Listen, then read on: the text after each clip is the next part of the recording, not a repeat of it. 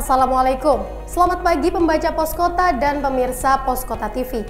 Apa kabarnya hari ini? Semoga selalu dalam keadaan sehat. Kembali dengan saya Triasa Bermita dalam Headline News Harian Poskota, edisi Sabtu 5 Juni 2021.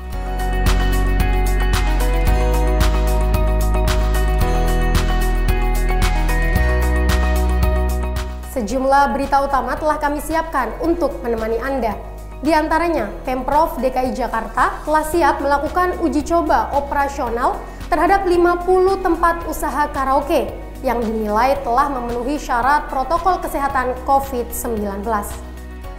PLT Kepala Dinas Pariwisata dan Ekonomi Kreatif DKI Jakarta Gumilar Ekalaya mengatakan, selama masa uji coba nanti pihaknya bersama Satpol PP dan kepolisian akan sungguh-sungguh melakukan pemantauan untuk memastikan protokol kesehatan ketat dilaksanakan dengan baik. Sejalan dengan itu, Wakil Ketua DPRD DKI Muhammad Taufik dan juga Asosiasi Pengusaha Hiburan Jakarta mendukung rencana uji coba pembukaan tempat karaoke tersebut.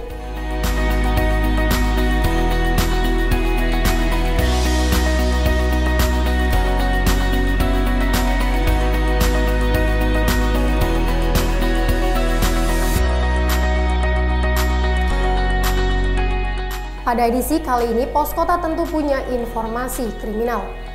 Keponakan tega membacok pamannya sendiri berulang kali hingga tewas lantaran dipicu pembagian harta warisan yang lebih kecil. Peristiwa sadis itu terjadi di Desa Lebakwangi, Kecamatan Sepatan Timur, Kabupaten Tangerang. Kronologi kejadian bermula adanya masalah tanah warisan, di mana pelaku tidak terima jatah tanah orang tuanya berukuran lebih kecil dibanding korban. Tiba-tiba pelaku datang dengan membawa sebilah golok dan langsung membacok korban berulang kali. Sayang, nyawa korban tak bisa diselamatkan setelah sempat mendapat perawatan.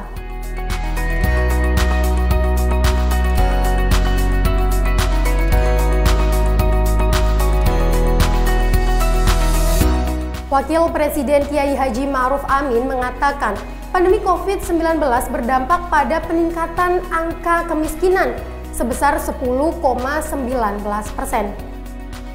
Hal itu disampaikan Wapres saat menjadi pembicara pada Musyawarah Nasional ke-9 Forum Zakat.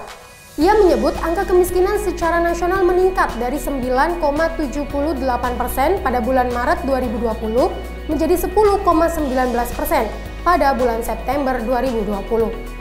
Untuk itu, Wapres menilai peran zakat dapat menjadi salah satu alat untuk menahan laju penurunan daya beli masyarakat seiring dengan berbagai bantuan sosial yang dikucurkan pemerintah selama pandemi COVID-19.